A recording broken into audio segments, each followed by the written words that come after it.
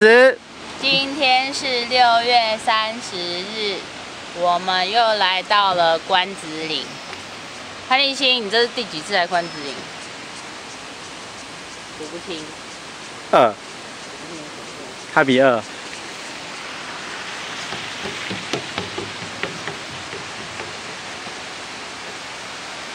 人用走的，我妈牵，用走的，慢慢走，只能用走的，慢慢走。一人牵一边，不行，要牵手。小五说要牵手，要不会跌倒。不牵手就会跌倒。小五说的，耶。